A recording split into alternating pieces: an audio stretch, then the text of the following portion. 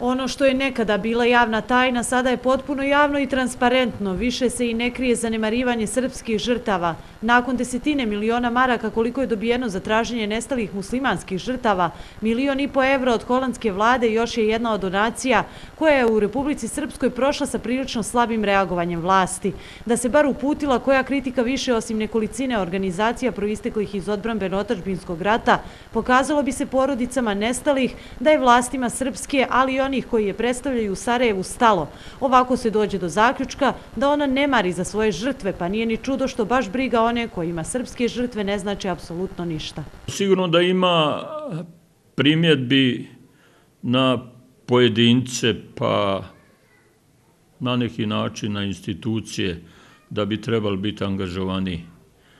Ali mi, nažalost, nemamo puno šta tražiti od naših institucija, zato što je njihov ograničen mandat. Ali velike strane sile i previše su krupne da bi im se suprostavile ogorčene, nezadovoljne i razočarane porodice ukupno 1657 nestalih iz Srpske. Bez obzira da li Holandija osjeća se odgovornom ili krivo, usmjer će se isključivo na traženje nestalih u Srebrenici.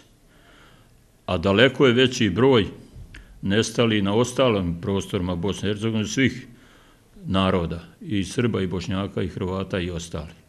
Srpska lica, nestala lica su u potpunosti zapostavljena i nevidljiva u ovom procesu. E, također tužlaštvo Bosne i Hercegovine daje svoj značajan doprinos da, da se e, na takav način pristupa, što je u potpunosti neprihvatljivo, na što mi upozoravamo i što je još jednom potvrdila ova donacija od milijon i pol evra koja je data isključivo za traženje Bošnjaka. Jedan od mogućih koraka vlade Srpske koja se pominje je reforma instituta za nestala lica BiH, tako da savjet ministara preuzme osnivačku ulogu. Ukoliko to usvoje, a univerzalno su karaktera, nikome ne smetaju niti prave diskriminaciju, onda se može očekivati i veća odgovornost, a znači i brži proces traženja nestalih koji je zaista u zaslove. Postoji potpuno nepovjerenje prema Međunarodnoj komisiji za nestala, za nestala lica i mi jednostavno smo u jednoj poziciji gdje je nadležnost prenesena, gdje e, moramo e, izmjenom upravljačke strukture i apelujemo naravno i molimo da se ponovo pokrene inicijativa e, za formiranje radne grupe, da se izmjeni upravljačka struktura.